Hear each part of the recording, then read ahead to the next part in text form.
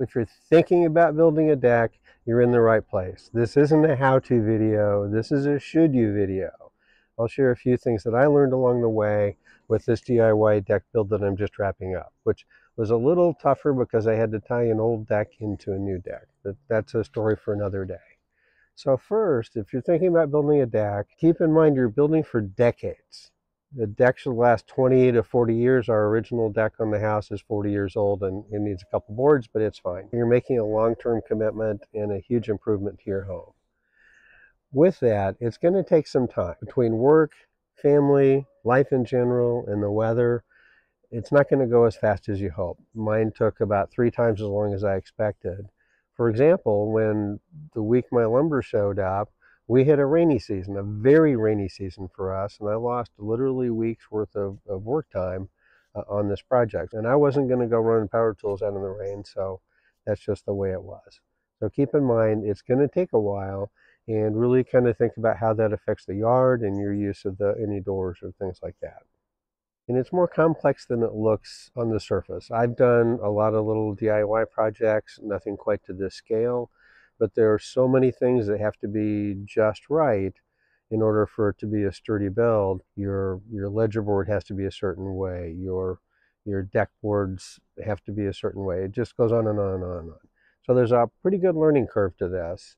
Uh, and the way I went defeated the learning curve was frankly watching a lot of YouTube videos. I may have watched a hundred videos.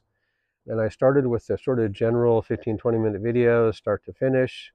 Those are good to give you perspective, but they don't really tell you how to build a deck.